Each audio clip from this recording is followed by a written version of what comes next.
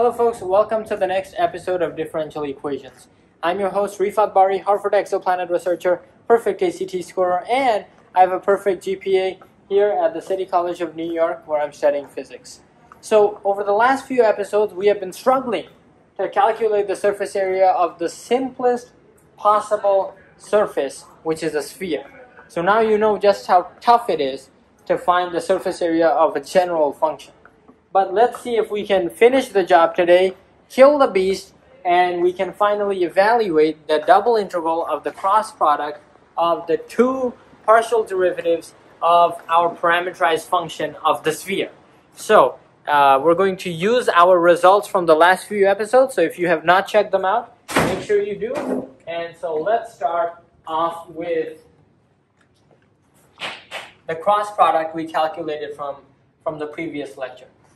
So it looks like we have some empty space here, so I'm going to take advantage of that. So our integral, our double integral, is going to be the, the magnitude of our cross product, so uh, r sub phi cross r sub theta, okay, uh, over our area, for which the domain is defined.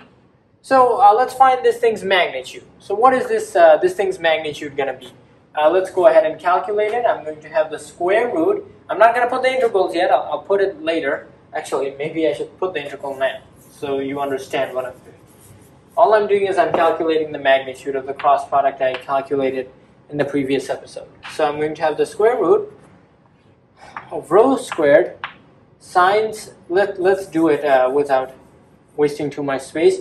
Rho, I'm squaring my x component so that's going to turn into rho to the fourth power, sine to the fourth power, right? Yeah, phi, cosine squared theta, theta, plus rho to the fourth power, once again, okay? Uh, sine to the fourth power of phi, so sine to the fourth power of phi.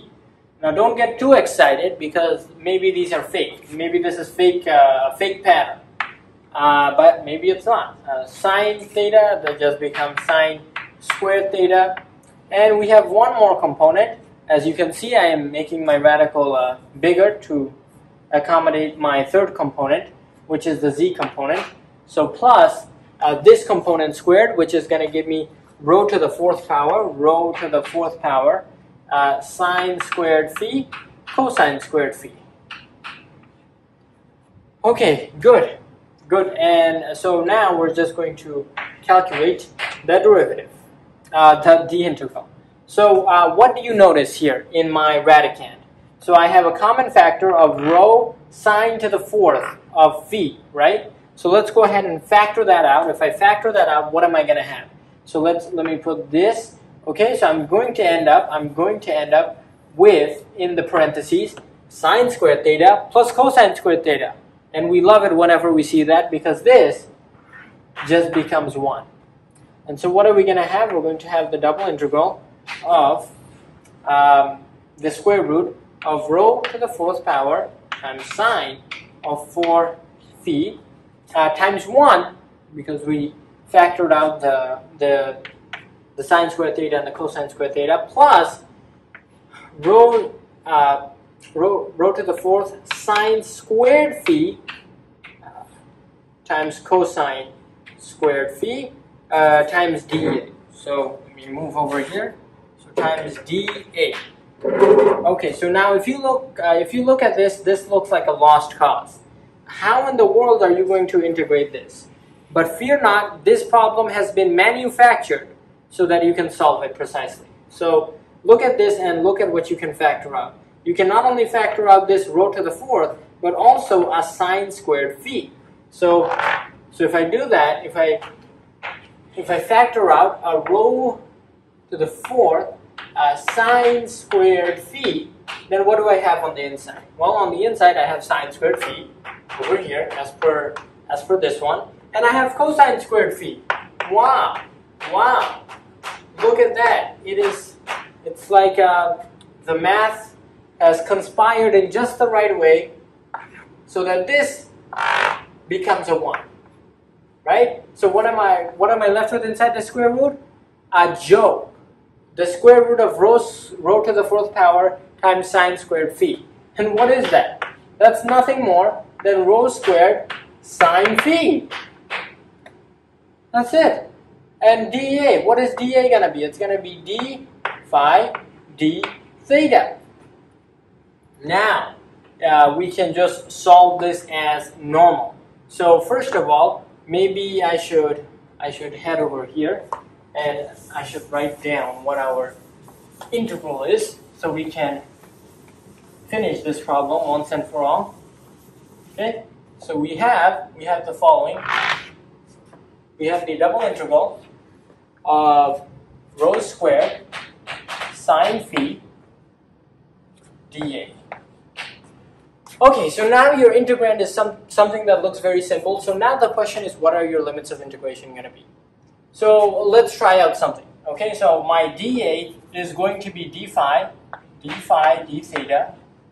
Okay, and I'm going to say my, uh, my phi goes from 0 to pi, and my theta goes from 0 to 2 pi.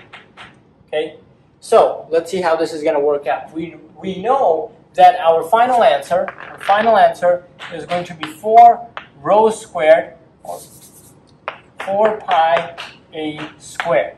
So you can already see that we have that factor of a squared here. Here a is just rho, but it's the same thing. If we pull this out, you should see that more clearly. I have rho squared uh, times the double integral of sine phi dA. Right? And so we expect this double integral here to give us no more no more than 4 pi. Okay, so let's go ahead and do that. So first of all, uh, my theta is going to go from 0 to 2 pi. And this sine of phi has nothing to do with theta, nothing. So we're going to pull it out as if it were a constant. So sine of phi has nothing to do with theta, so we pull it out. And so here theta goes from 0 to 2 pi uh, d theta, and here we have d phi going from our limits of integration uh, times rho squared. So this inside, what is this? Well, uh, the integral of 1 d theta from 0 to 2 pi, well, that's just 2 pi, right?